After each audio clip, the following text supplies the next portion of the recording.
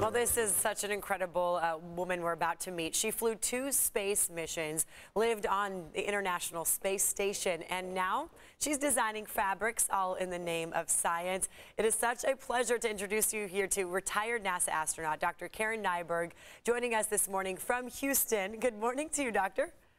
Good morning. Thank you for having me today. I mean, I was just reading all about you and 166 days on the International Space Station. Uh, you are a retired astronaut. You lived in outer space. Uh, tell us, first of all, about that. You have a young son who is back here on land, on Earth. what was that like for you? Yeah, so my first mission was only two weeks, and I was I didn't have a family yet uh, when I flew on the space shuttle. And then my second mission, which was in 2013, I was married with a three-year-old, and that was my long mission. So that's when I was on board the space station for almost six months. Wow. Um, it was yeah, it was kind of hard to be away from the family, but this was a dream I had since I was a little girl. So um, we made it work well. And your son uh, Jack, correct? That's correct. Okay, yep. So he got a chance to, you know, tell his friends. My mom's, you know, in outer space right now. I'm looking at this awesome picture of you uh, with your hair kind of flying around as, you know, there's no gravity that happens. And then this dinosaur. Tell us about this dinosaur. Well, I had I had actually taken up some sewing supplies with me, but we don't we're not allowed to take very much extra stuff with us. So I just had a little bit of fabric that I ended up making into a quilt square and I had some needles and I had some thread. And so I decided to try to upcycle some of the fabrics that were already on space station.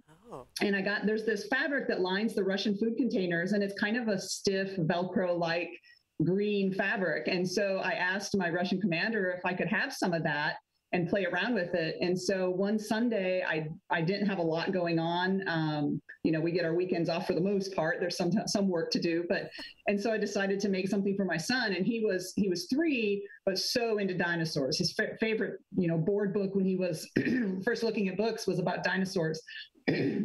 excuse me. And so so i made this dinosaur for him i made a pattern and then i cut it out and stitched it together. And then i um, cut up an old t-shirt into strips for stuffing and and stuffed it with that. And so that's the story of the dinosaur. Okay so you are astronaut and you obviously math science all of that is an expertise of yours but also now uh, sewing arts. I mean i guess that's such a surprising thing for me to hear that you're also skilled in so many other facets of life.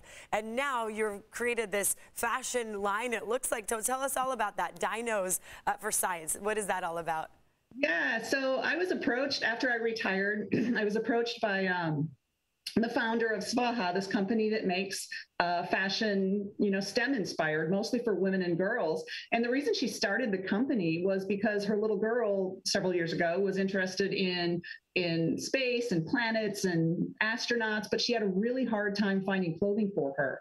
Um, she would find those types of things in the boys' department, but not in the girls' department. So she started this company and they make these awesome clothes and a lot of them are really bright and fun and science themed. And so she approached uh, me and asked if i could if i'd be interested in in working with them. And so i thought that would be great. And you know as we brainstormed and i was coming up with ideas of course i wanted it space related but you know children love space and children love dinosaurs. And since my son loved dinosaurs i thought that was the perfect combination uh, to make for that line. Oh, and tell us the age range. Uh, it looks like clothes for all types of people. There absolutely is. There are adult dresses, and the dresses are great. They fit great. They have um, pockets, which is really nice yes. in a dress.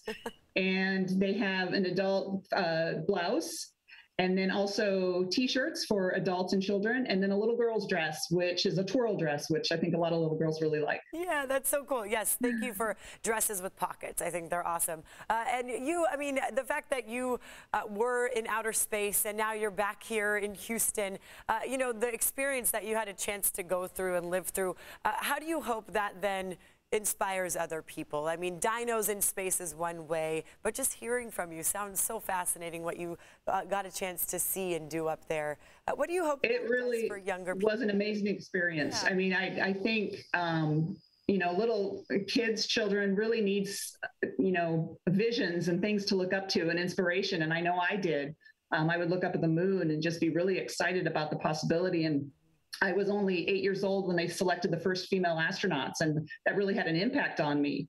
And so, you know, just being able to share that and share the opportunities I had, um, seeing the Earth from space Right. is absolutely incredible, and it really changes a person. And I'm And so now I'm trying to share that through art and and um, design and that sort of thing as well. Dr. Nyberg, thanks for sharing your story with us. So good to have you on this morning. Dinos in Space, check out her collection.